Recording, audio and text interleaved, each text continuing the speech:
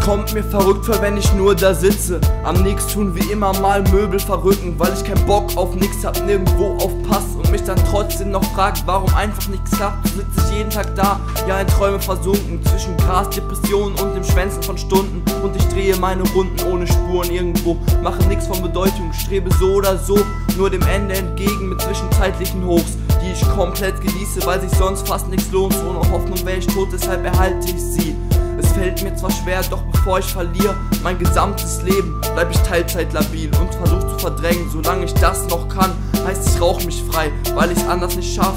Denn Trauer, Stress und Wut rauben mir die Kraft. Irgendwann steht man alleine, mitten im Nix, verlassen von allen. Gibt auf die Welt kein Fick, kümmert sich nur um sich, weil der Rest egal ist. Will raus aus dem Dreck, doch verzweifelt komplett. Irgendwann steht man alleine, mitten im Nix, verlassen von allen. Gibt auf die Welt kein Fick, kümmert sich nur um sich, weil der Rest egal ist. Will raus aus dem Dreck, doch verzweifelt komplett. Ist es schlimm?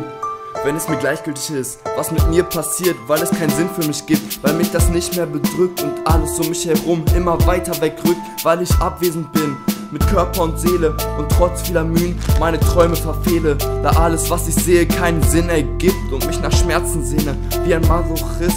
Oh. Nur um einmal mich noch lebendig zu fühlen. Sag mir, was muss ich tun, um mich lebendig zu fühlen? Was muss ich tun, um den Scheiß nicht zu sehen? Ja, und was muss ich tun, um dem Scheitern zu entgehen? Sag mir was.